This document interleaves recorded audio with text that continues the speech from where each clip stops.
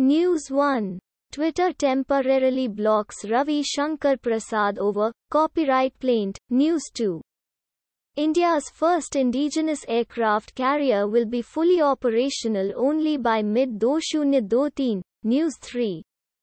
India's third COVID-19 wave, unlikely to be as severe as second. Study. News 4. Government extends tax deadlines. Exempts funds received for COVID-19 treatment. News 5. All parties, including Congress, needed to create alternative front. Sharad Pawar, News 6. COVID-19. Maharashtra reports first death due to Delta Plus variant.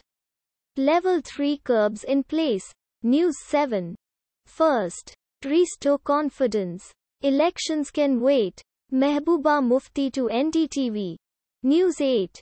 CBSE Board Exam 2021, Class 10. 12 physical exams likely to be conducted in August. News 9. Those who lost loved ones.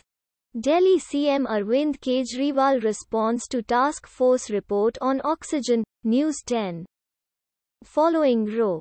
MC Josephine resigns as Kerala Women's Commission chief. Automatically generated.